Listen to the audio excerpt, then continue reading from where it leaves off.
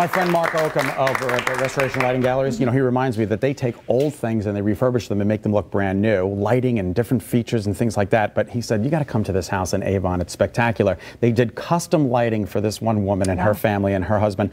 The house itself is stunning. I can't wait to see it. The lighting that they put in there is over, it's just wild, and you're going to love it. Take a look.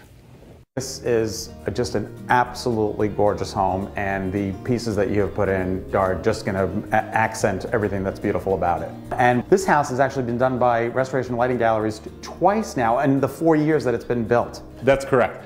We helped the first homeowner with some other lighting, and then the new homeowner decided to change everything with custom lights made to order cast crystal fixtures. When you take a look at the chandelier, Scot, it's unbelievable. It's an all cast Italian piece. This piece can come in a variety of sizes, from a very small 18 inch piece to something as large as you see now, about 48 inches in diameter. Now, did the homeowner have uh, uh, uh, something in mind when she came to you for this, or did you recommend this? How does that work? Homeowner came to our showroom, saw the piece displayed, but really wanted to have the finish they wanted. When we said no problem, they said okay. Most people think that they have to get it the way they see it, but you know, at Restoration Lighting Gallery, we'll make it the way you want. Now, is this a new piece, Mark? Brand new. All the castings are from Italy, hand finished in the US, in a finish selected by the customer with hand cut crystals. This is a crystal you've not seen before. The large prisms are all French Pendeloques hand cut. So it's really a different type of piece. It's a grand piece that you're not going to see in an average home or even an average store. It's just very different and always hand selected. And I'm looking at the medallion on top, uh, uh, you know, that's been adhered to the ceiling. Tell me about that. Is that yours as well? That also came from us. The medallion just really accents the color of the fixture with the mirror on it. It just reflects the light back down into the room, so it's actually added light enhancement as well. And we also tied in both sconces with the same color and the crystal accent. Where did you get something like this? We work with different partners. Castings come from Italy. The crystals are all cut in Europe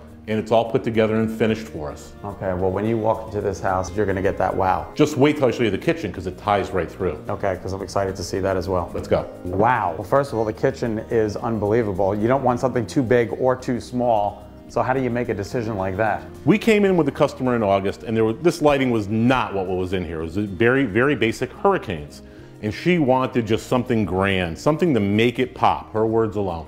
And what we did is we decided to take the theme off of the foyer piece and carry it through the kitchen. So over the island you have, again, the same family of chandelier, but scaled down into a two-tier piece over the island. The matching piece over the sink is a single tier, which again carries that same design element right through.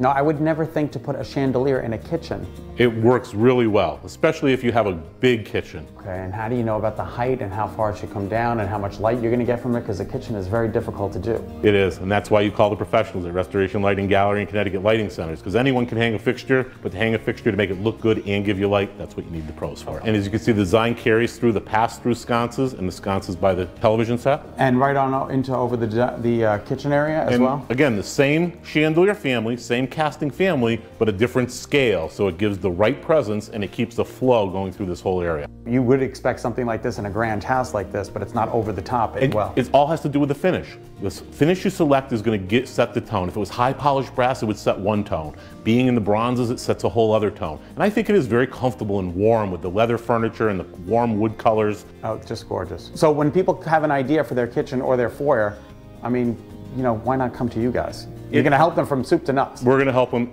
any way we can. Now, obviously, that's a high-end. Right. I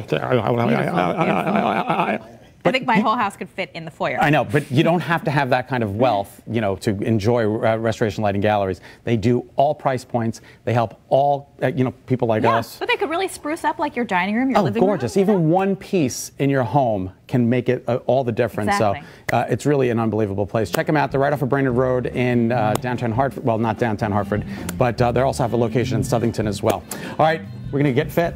Want to try?